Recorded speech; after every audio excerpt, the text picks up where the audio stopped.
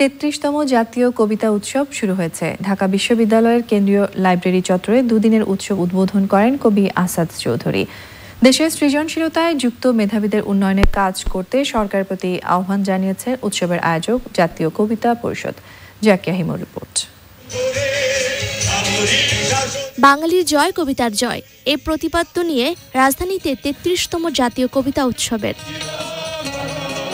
বিশিষ্ট কবিদের সমাধিতে শ্রদ্ধা জানিয়ে এক মিনিট নীরবতা পালন করা হয়, স্মরণ করা হয় গত বছর সাংস্কৃতিক অঙ্গনের এবং মুক্তিযোদ্ধা যারা চিরবিদায় নিয়েছেন তাদের। ঘোষণাপত্র পাঠের পরে কবিতা উৎসবের উদ্বোধন করেন কবি আসাদ চৌধুরী।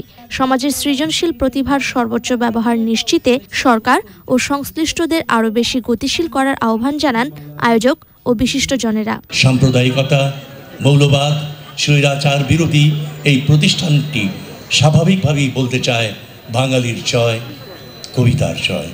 একজন কবি লেখকের প্রধান দায়িত্ব তার সৃজনশীল ক্ষমতার সর্বোচ্চ ব্যবহার নিশ্চিত করা।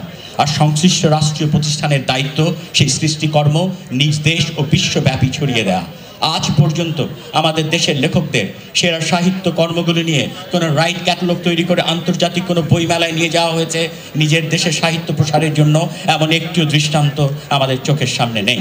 কবিতার জয়, আসুন বাংলার কবিও বাংলা কবিতার হাজার বছরের দায়বদ্ধতাকে আমরা সেই লক্ষ্যে শানিত ও আরও প্রাণিত করে তুলি উৎসবে যোগ দেন ভারতের ত্রিপুরা যুক্তরাজ্য স্পেন উরুগুয়ে ও নেপাল সহ বিভিন্ন দেশের কবি ও অনুবাদকরা Êtes-vous avide, distant de votre semblable, pour renaître encore comme la nouvelle lune marginadas tras los cristales de los guetos de barrios rojos, en su cuarto mundo desigual e injusto, Dhaka বিশ্ববিদ্যালয়ের কেন্দ্রীয় library চত্বরে উৎসব চলবে দোসরা ফেব্রুয়ারি সন্ধ্যা পর্যন্ত।